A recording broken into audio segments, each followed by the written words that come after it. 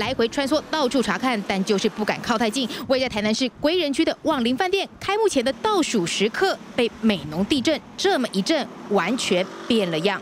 地基没有打稳，还是因为这一栋哈，它以前我们是买来要整修，我们在拉皮嘛。那那么久了，我我们也不不清楚什么。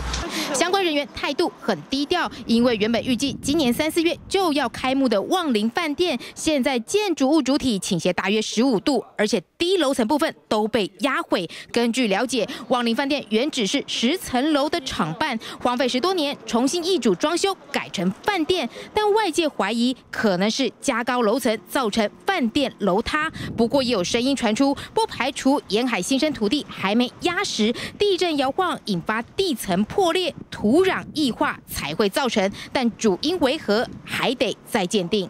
昨天有那请那个专家讲说说地下异化，那土土地异化的问题了。就像我们这边现在有好几栋也都是有这种问题，担心再有意外，饭店贴出公告危险勿靠近，但还是有当地居民陆续来拍照。台南没有遇过。不是倒十几栋吗？这个是我们台南市的地方啊，所以我们在这个地方，我们也很关心这边到底它的建筑物的结构是如何啊。好奇驻足，只是开幕前发生这种状况，业者恐怕心在淌血。记者台南综合报道。